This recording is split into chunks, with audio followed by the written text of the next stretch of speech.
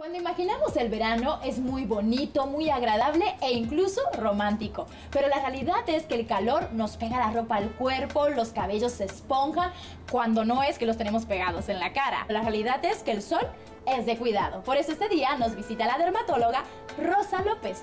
Bienvenida. Muchas gracias, Vanem. A ver, doctora, ¿por qué el sol nos daña la piel? Bueno, el sol emite una radiación que es los rayos ultravioleta. De estos existen tres tipos, UVA, UVB y UVC. Los UVC los cubre la capa de ozono, pero los demás penetran a la Tierra.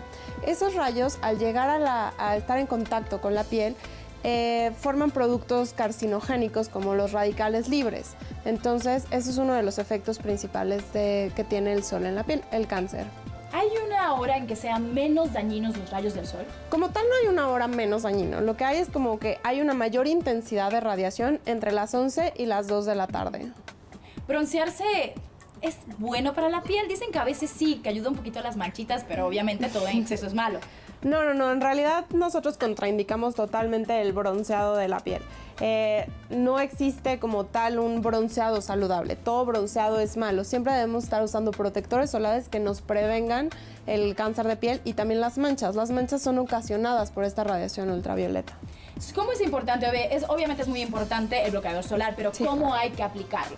Bueno, los bloqueadores solares tienen que ser de un factor arriba de 30 primero para que tengan cierto efecto y hay que reaplicarlos. Si estamos en la ciudad, cada cuatro horas. Si estamos en la playa exponiéndonos constantemente, pues incluso cada dos horas. Doctora, ¿cuánto tiempo es bueno estar bajo los rayos del sol? Pues realmente nunca debemos estar en la radiación directa. Lo que nosotros aconsejamos cuando salen es, por ejemplo, que estén en una resolana, que traigan sombrero, sombrilla o sí, pero en realidad nunca hay un tiempo estimado de que sea bueno. En realidad no debería ser bueno.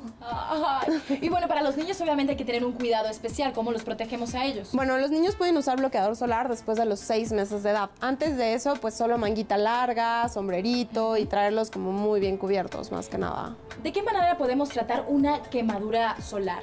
Bueno, lo primero es la hidratación, estarnos poniendo muchísima crema, cremas que obviamente no tengan ningún tipo de olor, porque si no nos van a lastimar más. Y podemos usar como pañitos fríos o sí, para como que disminuya un poquito la inflamación.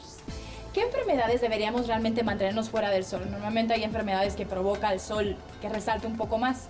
Bueno, hay enfermedades muy graves como es el lupus eritematoso sistémico. En ese caso, pues no podemos exponernos a la luz solar. Eh, pacientes con psoriasis que pueden eh, desencadenar mayor eh, y pacientes con vitiligo. Esas serían como las contraindicaciones más importantes. Normalmente cuando tomamos sol a veces aparecen algunas manchitas. Ahora, ¿cómo tratamos esas manchitas? Bueno, esas manchas realmente hay que ir al dermatólogo para tratarlas porque muchas de esas manchas pueden ser buenas y pues ser solo secundarias a la luz solar o pueden ser hablarnos de un tipo de cáncer de piel. Entonces sí tenemos que acudir al dermatólogo inmediatamente.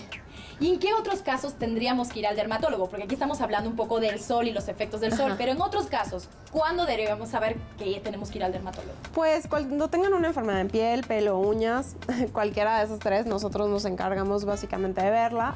Muchas gracias, doctora.